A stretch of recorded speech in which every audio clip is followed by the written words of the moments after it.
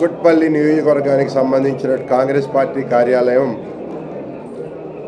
ఈ బాలానగర్ సెంట్రల్ ప్లేస్గా పెట్టుకుని ఇక్కడి నుంచి కార్యకలాపాలు నిర్వహించాలనే ఉద్దేశంతో ఈ కార్యాలయం ఇవాళ మేము స్థాపించుకోవడం జరిగింది.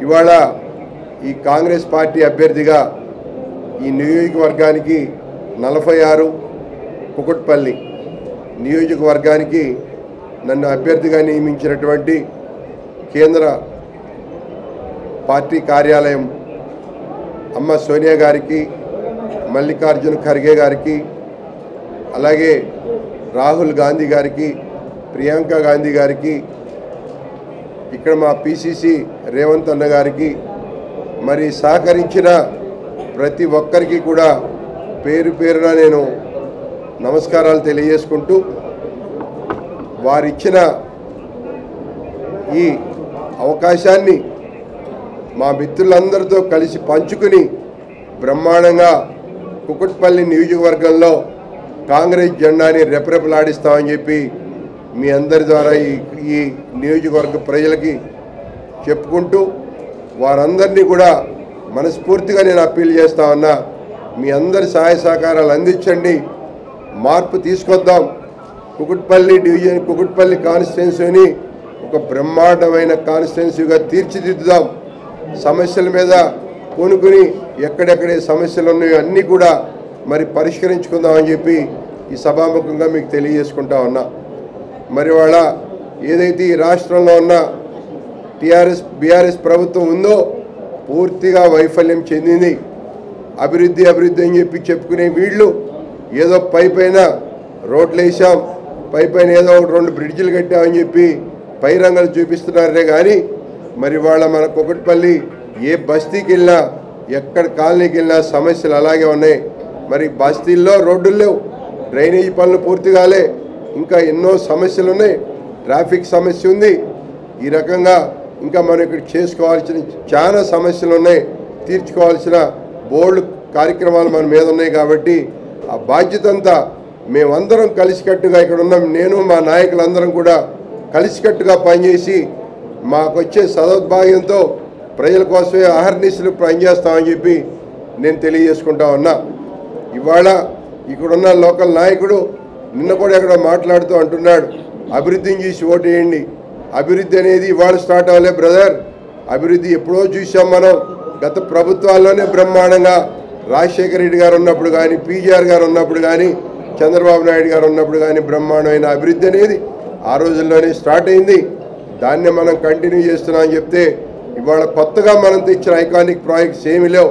ఇవాళ మన మహానగరానికి హైదరాబాద్ మహానగరానికి మరి ఈ ఏదైతే రాజీవ్ గాంధీ ఇంటర్నేషనల్ ఎయిర్పోర్ట్ వచ్చిందో ఆ రోజుల్లోనే అది అంతా వచ్చింది. ఆ అవుటర్ రింగ్ రోడ్ ఉందో ఇవాళ అది కూడా అప్పటి ప్రభుత్వాలు చేసిన ఘనతే. ఇవాళ హైదరాబాద్ మెట్రో రైల్ కూడా అప్పటి ప్రభుత్వం చేసిన ఘనతే. వాళ్ళు తయారు చేసిన ఇన్ఫ్రాస్ట్రక్చర్ అని మనం ఇవాళ ఉపయోగించుకుంటూ వాళ్ళు వేసిన బాటల మీద మనం నడుస్తూ ఇవాళ ఆ అభివృద్ధి ఫలాలు మనం అందుకుంటూ ఇవాళ మనం అభివృద్ధిని చెప్తాం కరెక్ట్ కాదని చెప్పి నేను తెలియజేస్తా ఉన్నా. ఇవాళ ఈ భారతదేశానికి ఒక దశ దిశ నిర్వహించిన పార్టీ కాంగ్రెస్ పార్టీ నూట ముప్పై ఏళ్ళ చరిత్ర కలిగిన పా కాంగ్రెస్ పార్టీ ఇవాళ భారతదేశానికే కాదు ఏ రాష్ట్రంలో చూసినా కూడా అందరి ఈ ఏదైతే గరీబీ హటావో నినాదం ఉందో మరి ఇవాళకి కూడా మరి ఈ ప్రభుత్వాలు మేము ఏదో గొప్పలు చేశామని చెప్తున్నాయి మరి ఇవాళ కూడా ఎంతోమంది పేదలు ఇవాళ అణగారిపోతా ఉన్నారు.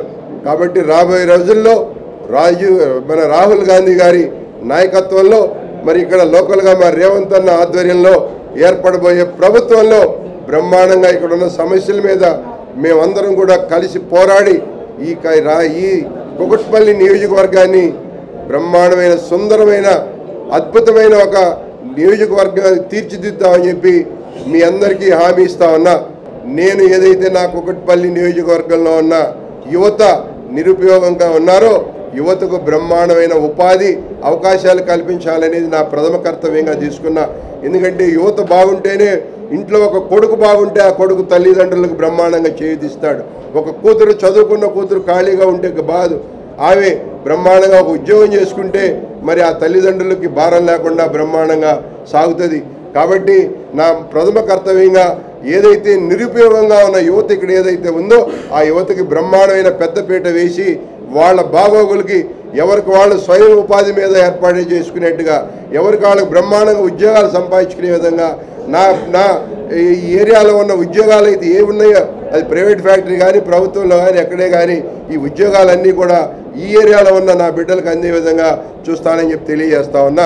విద్య వైద్యం ఉపాధి అనే ఒక ముందు చూపుతో ముందుకెళ్తానని చెప్పి ప్రతి ఒక్కరికి ఉద్యోగ రూపకల్పనలో కానీ విద్యను అందించడంలో కానీ కొత్త కొత్త కాలేజీలు తీసుకురావడంలో కానీ కొత్త మెడికల్ సదుపాయాలు తీసుకురావడంలో కానీ మా ప్రభుత్వ పెద్దలతో కూడా మాట్లాడి నా వల్ల అయిన మట్టికి ఇక్కడున్న బ్రహ్మాండంగా ఈ ప్రజలకి అందిస్తానని చెప్పి నేను తెలియజేసుకుంటూ మరి ఈ కార్యక్రమాన్ని ఇంతటితో ముగిస్తా ఉన్నాను.